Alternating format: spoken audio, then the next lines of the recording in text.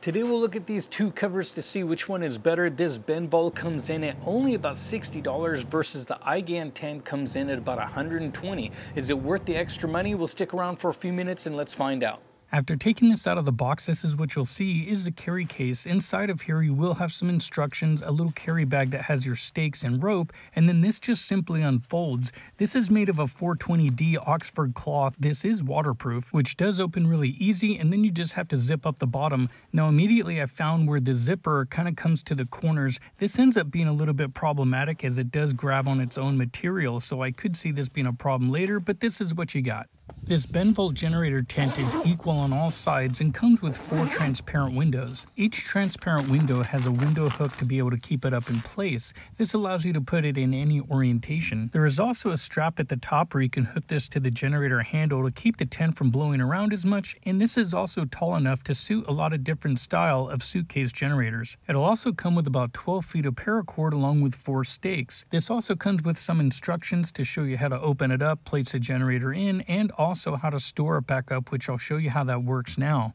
Now the proper way is you would have a generator already in here and this part would actually be unzipped and I'll show you that in a minute but this just simply folds in half. And I will admit this is my second time doing it because the first time well I almost threw it. You have to take the two circles and try to overlap them in order to get this to completely fold.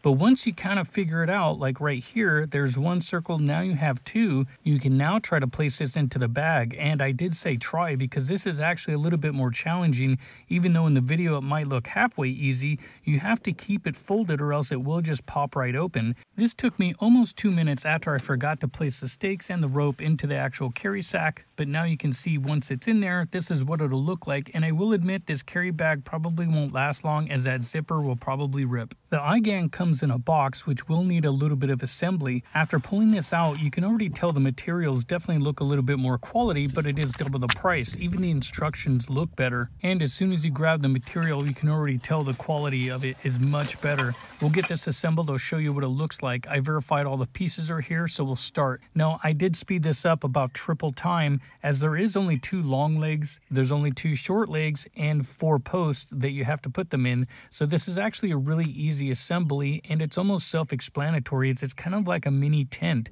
You have the two main poles, each one gets a stick on the outside of the middle pole, and then you just simply put them into both corners, and then this creates the frame of your tent. You'll then take the cover, go ahead and open this up, and then slide it over the frame. Now, I will admit this was a little bit stiff as the material is new, which I assume this will stretch out a little bit, but once it's on there, it's actually pretty easy and it does look pretty good. There is one more step, is that inside, there is actually a strap on each corner where you just take the Velcro and then latch it together on all four positions, and now this is what you have. Now, immediately, I already like the functionality of this better with two clips and then the front panel just opens up. This allows quick, easy access. When you take a look inside here, you'll notice there is plenty of room and it's formed well. There's even a pouch on the side. This is actually meant for keeping your stakes and rope, along with a travel bag that does come with it. On top of the generator tent, there is one access panel that opens up. This allows you to be able to refuel the generator without having to lift the tent off. This is actually a nice access panel. Along with this side panel, this is where you would be able to come and start the generator. And at the rear of the tent, there's a molded cover that overhangs the exhaust outlet. This is so the water does not drip back onto itself and inside to where the generator will get wet. I will run you through the disassembly as this does take just a little bit of time. And again I did speed this up just so you can see but all four corners get unstrapped. Then you'll take off the tent cover. Go ahead and set this to the side. Now the molded exhaust cover is going to give you a little bit of a problem in a minute at least that I found. Go ahead and take off the tent stakes and undo all four poles along with the legs. Undo the tent frame and now we can start placing this inside of the carry bag which I did leave inside the cover now this is where you'll see it becomes a problem in a minute. Placing all the poles inside the bag is not really the issue, but what is the issue is the molded exhaust cover. Being that it does kind of hold a form, this doesn't allow the bag to close very well. I didn't want to fold it over on itself as I'm afraid it might actually damage the molded form, so I did kind of place this upright and then fold it over a little bit which did allow me to close it and hopefully not bending the exhaust cover. While looking at both of these side by side, the Benvol does have a slightly larger displacement as it does take up more room. The iGan is sleeker as it is skinnier but a little bit longer. But how do these compare when you have a couple generators inside? I just happen to have two Hondas that are exactly identical, so we'll use these as an example and I'll give you some other ones at the end. The iGan is simple to set up once it's already assembled as you just place it on top versus the Benvol, you will have to open up the bottom. I decided to try something different and stick it in through one of the access windows. I quickly realized this actually wasn't a great idea as the generator is a little bit too big. A smaller generator you probably could have done this, but after struggling with this for a few seconds I realized this was a great way to hurt your back. Now if you follow the instructions, a proper way to do this is to have both sides unfolded and then lay the black bottom piece out to place the generator on top of. Then you slide the cover on top and go ahead and zip the bottom up. And again, this is where I started to find problems with the zipper and the material as it would catch, especially on the corners. And sometimes even the middle here is shown as it would continue to catch and drag. So care should be taken when utilizing this zipper as again, I could see this becoming a problem later on. Now when looking at both of these tents, it looks like they were specifically designed for the Hondas, one thing you notice is that if you had to position the generator to a different location, the iGan is a lot quicker. When it comes to refueling your generator, there's a panel up top connecting cords or accessing the front. There's a separate panel as well. And for starting it, there's another panel and all of these are quick and easy to use. And the molded rear exhaust cover directs water away from the generator and away from getting inside. The Benvol having four equal sides, you'll just choose whatever is going to be the front or the back. Now one thing on the exhaust side is you have to roll this up all the way and hook it into place as there is no way to really put it halfway into position. This leaves the generator kind of sticking out in access to the weather. Not that it's a bad thing, but some generators actually don't perform well when getting wet, so this could allow water to get trapped inside, which you may want the zipper on the bottom to be partially unzipped so water can continue to drain out. You can also strap this around the handle to keep it from moving or blowing around so much, but there is no way to quickly pick this up and move it as you would have to deform this quite a bit. Now you could move this towards the front. This will give you a little bit more room in the back and you could put the panel down about halfway. This gives you some clearance at least from getting directly rained on. Now when it comes to starting up the generator, I had one panel open in the front and the one on the side along with the one in the back open. Now I wanted to see if carbon monoxide was going to be an issue if it would kind of flow back in so I will close this up as much as possible and check on it periodically but this is kind of what it looks like while running. When it does come to the iGan, I will admit, just the functionality of the front panel and the side panel are very easy to use. This makes it a lot quicker and easier just to get it started, but I found there wasn't a lot of room to actually reach the handle to turn it into the on position or pull the starter, but because it's light and I can just move it real quick, well then it allowed me to get that room I needed to start it up. Now because the iGan sits up off the ground, this allows direct air intake from right underneath the front and this allows it to hit those vent intakes.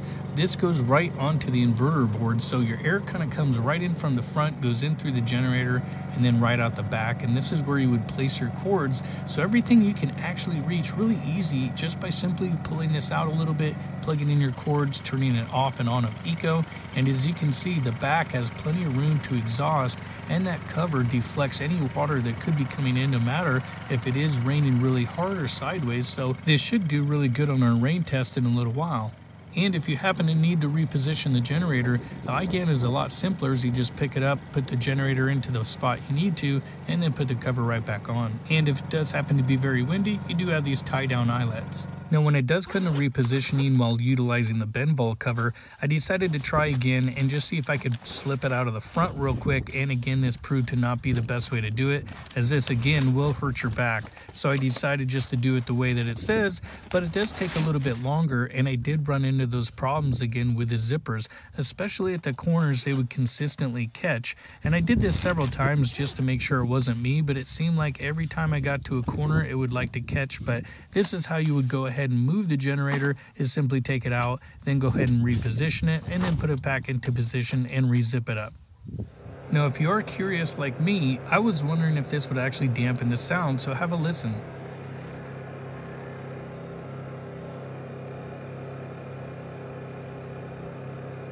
Now it is windy, so I am getting some peaks on the meter, but with me standing there, To me, it sounds like the iGAN 10 did dampen the sound if you are right next to it. So have one more listen.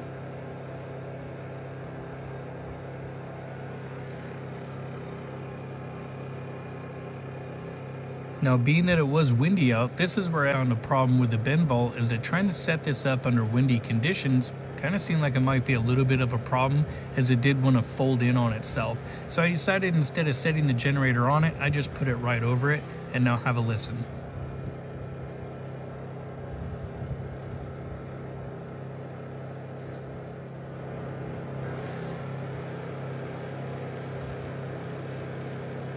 And now that the storm has finally showed up, we can see what it looks like while it is raining.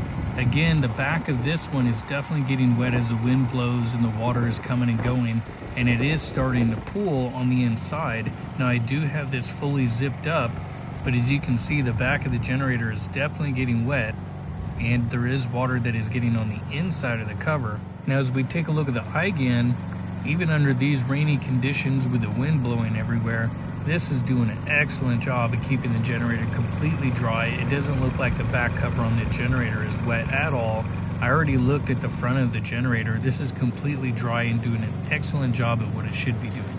Now, if you're wondering what it looks like to put it away, the iGAN is definitely nice because you can, again, flip over the panel, just turn the generator off, pick up the cover, pick up your generator, and walk away and maybe put the cover away somewhere dry. When it comes to the bend Benvol, you will have the side panel that this does allow to easily get in into place, but I was definitely determined to take the generator out again of one of the pockets. Now, this again was not the best idea because I could already feel my back just straining, and I was determined to try it this way. If I had a smaller generator, this would have worked really easy, like a Honda EU1000 would have been great. Now you can see there is a little bit of water that did pull up inside, so I suggest leaving the zippers maybe slightly undone, that way the water can drain out. But when it comes to packing this up, if you just unzip it and those corners again don't catch, this simply just folds up and this makes it really quick to store, so and it takes up very little space. Now, if you are wondering about other size generators, like the Honda EU3200i is actually quite a bit bigger, and this does stick out quite a bit more, so it's not really ideal for the Benvol. When it comes to utilizing it with the iGAN, surprisingly, it actually fit really well. You could still get to the front fueling, the side compartment allowed to easily get to the starter rope, and it had plenty of protection from the elements with the exhaust overhang. If you were using the EcoFlow Smart Generator, the Benvol tent definitely doesn't fit, again because it will be sticking out the back quite a bit, allowing the electronics of this one maybe to get wet. So the iGAN, I surprisingly tried it and it did fit. It was actually a little bit tall, but it was on the ground flat. It allowed you to get to the front compartment easy to hook up any kind of cords, and you could also get to the fueling if you needed along with propane hookups, starting, and more. This also allowed for plenty of protection on the back exhaust cover, so I think the iGAN is a great fit. Now, when it comes to other generators like the MaxPeedingRods, these suitcase generators are pretty popular size. Again, it did stick out a little bit with the Benvol, but the iGAN fit perfectly. The EFI from GenMax, this did stick out a little bit, and it is a little bit taller, but again, the iGAN fit it very well. So the iGAN does fit plenty of models. Now when it comes to the Benvol, I will admit this one actually folds up quickly. You can just fold it, put it away. It doesn't take up very much room versus this one does take a little bit more effort as far as packing it up or setting it up. Now my suggestion is if you only use your generator once in a while and it's only gonna be a rare thing, then this Benvol at only about $60 might just do the trick. I don't think this is gonna last very long with the zippers and such. You might get three, four years out of it at best versus the iGAN. This one here is probably gonna last maybe 15 to 20 years depending on how you treat it. So if you want to spend $120, have something that's real nice, very functional, and is definitely quality built, my money's on the iGAN. This is the one that I would get as it does fit a lot more of the generators out there that are longer, just as I showed you earlier. So I hope you guys liked the video. Links are down in the description. I hope to see you next time.